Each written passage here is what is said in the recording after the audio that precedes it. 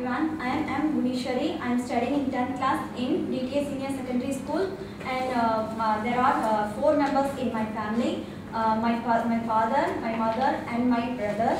Uh, my brother is studying in 8th class and my father is uh, car cleaner and my mother is maid. My father is encourages me in studies and he and, and he helped, helped me to study study more. Uh, uh, study more and my favorite color is red. Uh,